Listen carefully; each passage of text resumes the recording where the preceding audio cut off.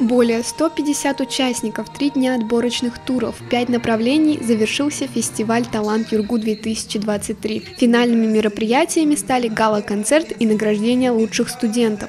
После конкурсного дня мы всегда проводим день награждения и гала-концерт.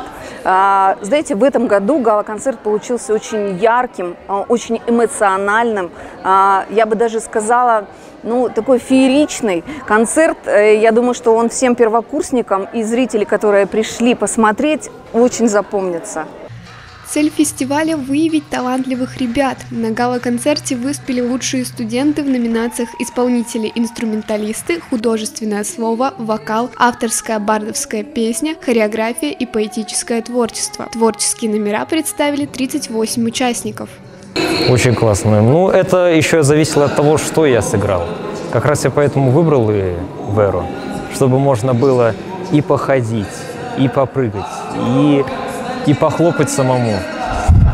Эмоции от фестиваля получили не только участники, но и зрители. Поддержать конкурсантов на гала-концерт пришли их знакомые, друзья и родственники.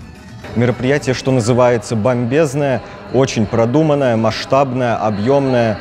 Оно наполнило меня огромным количеством каких-то положительных эмоций, существенно улучшило настроение.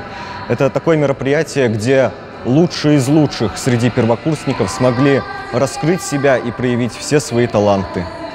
В завершении гала-концерта участников наградили почетными грамотами и призами, а также пригласили в коллективы Центры творчества Юргу, чтобы студенты продолжали развивать свои таланты.